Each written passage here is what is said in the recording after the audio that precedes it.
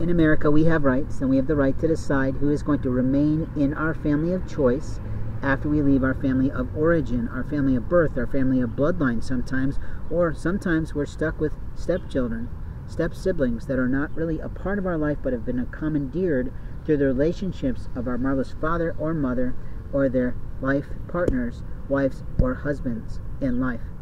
The liars of America don't think about what their children feel or experience when they make and mix their, their mingling in business and pleasure.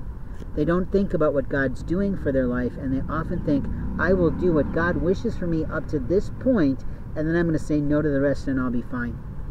I hate to tell you this, but I have never in my life seen that work. When one of my siblings married the wrong man, and actually both of them did, but when one of them really, really married the wrong man, the entire family suffered for it.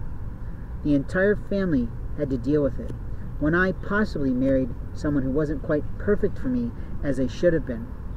my family didn't exactly suffer for it, but they did have to experience his immoral, illogical, and foreign thinking behavior of being an overindulged child from a time in life when I was not there. The life partners of our life can impact our family of origin, but generally speaking, when we have a family of life partnership, we move away from our family and we do our own thing. Only usually in times of troubles and challenges and problems and crises, or in times of holidays and celebrations and remembrances, do we come back together as a family.